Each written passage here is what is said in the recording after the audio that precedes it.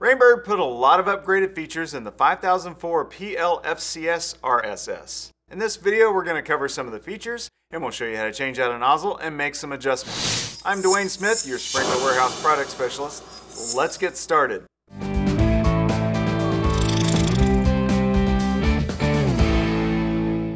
5000 series of rotors by Rainbird is a very popular set of rotors. In this particular rotor, the 5004 PL-FCS RSS, is one of the ones with the most upgraded features in the whole line. The most obvious feature of this rotor is the stainless steel riser which is designed to give the rotor a longer life, standing up to tougher soils and difficult weather conditions. This rotor has a Seal-A-Matic check valve. Having a check valve prevents low head drainage. If there's a significant slope within a zone, when the sprinklers shut off, water in that zone's pipes often drain out of the lowest head. This creates puddling and erosion. Check valves help to prevent this. Seal-A-Matic check valves in the 5000 rotor series work with up to 7 feet of elevation change. This rotor is pressure regulated. Pressure regulation prevents misting caused by having too high of water pressure in your system. When misting occurs, much of the water coming out of the spray head gets carried off by the wind or evaporates before reaching your plant's roots, which costs you money. So, pressure regulation provides the optimum pressure for the nozzle, which prevents misting and provides even pressure between the heads for more consistent watering coverage for your entire lawn. This rotor also has flow shutoff capability, which allows you to shut off the flow of water to the head even while the system's still in operation.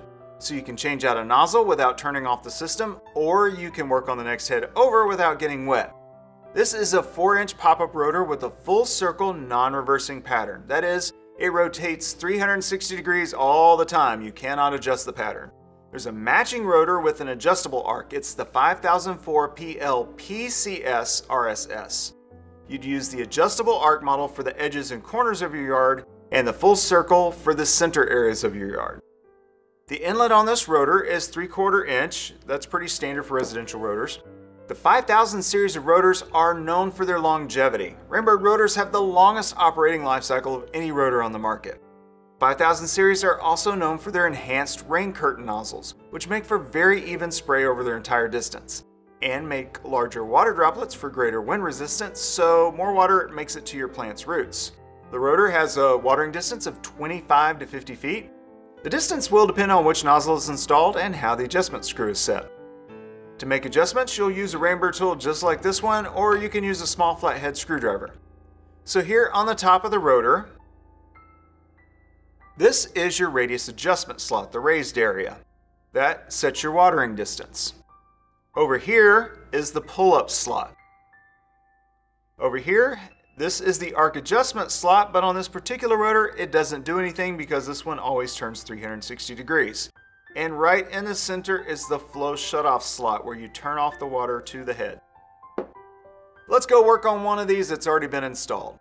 There's two basic ways to access the nozzle while the rotor's in the ground. One method is to pull up the riser by inserting a Rainbird tool into the pull-up slot. You can use a hold-up nozzle install collar to make it easier, or you can hold up the riser with your hand. Since this rotor has flow stop, another way to access the nozzle is to turn on the zone and shut off the water to the head using the flow stop slot. The riser stays in the up position, which makes it easier to work on. Whichever method you choose, you'll need to back out the radius adjustment screw.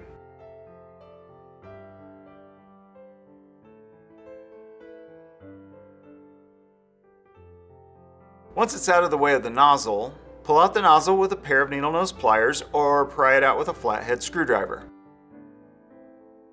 Insert the new nozzle and screw back down the radius adjustment screw. Don't try to tighten the screw, you're just getting it down in front of the nozzle to hold it in place.